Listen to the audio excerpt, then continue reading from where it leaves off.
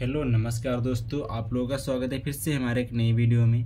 मैं आप रहा हूँ। IQOO Z nine S Pro five G mobile में। दोस्तों, आप लोग उसमें लैंग्वेज कैसे दोस्तों, भाषा को चेंज करने तो आपको क्या करना है? दोस्तों, आपको मोबाइल की सेटिंग में जाना है। सेटिंग में जाओगे तो आपके सामने इस तरह का इंटरव्यू देने को मिलेगा। इसके बाद, दोस्तों, आपको क्या करना है? दोस्तों, आपको नीचे आना है। नीचे आओगे तो आपको यहाँ पर ऑप्शन देने को मिलेगा, दोस्तों। सिस्टम का आपको इस पर क्लिक करना है। इस ऑप्शन पर क्लिक करने के बाद आपके सामने इस तरह का इंटरव्यू देने को मिल जाएगा।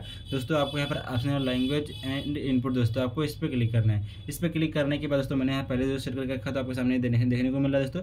तो आपको अदर कंट्री का सेट करना है तो क्या करना है, दोस्तों आपको तो लैंग्वेज को सेट करना है, आपको इस पर क्लिक करना है लैंग्वेज पे। यहाँ पर जैसे मैंने, पहले दोस्तों यहाँ पर हिंदी, इंग्लिश सेव करके रखा है, दोस्तों, और भी करना है तो आपको प्लस पे क्लिक करना है। इस पर क्लिक करने के दोस्तों, आपको जो भी रखना है, नेपाल, नेपाली, मराठी, हिंदी, दोस्तों, बांग्लादेशी जो भी रखना है, पर रख सकते हो। सब यहाँ पर देना, गुजराती भी में, दोस्तों, जितना भी, दोस्तों, रहेगा यहाँ पर, सब देने को मिला दोस्तों। आपको जो भी करना है सेट कर सकते हो।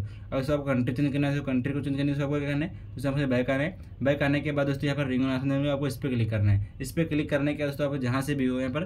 तो जितने भी दोस्तों यहाँ पर रहेंगे, सब देने को मिलेंगे दोस्तों। इसको आपको यहाँ सेट कर लेना है दोस्तों। इस तरीके से आप iQOO Z nine S Pro five G mobile में दोस्तों आप लोग लाइक को शेयर कर सकते हो। अगर आपको वीडियो अच्छा लगा तो वीडियो को लाइक और चैनल को सब्सक्राइब ज़रूर कीजिए। आज बाय बाय टेक केयर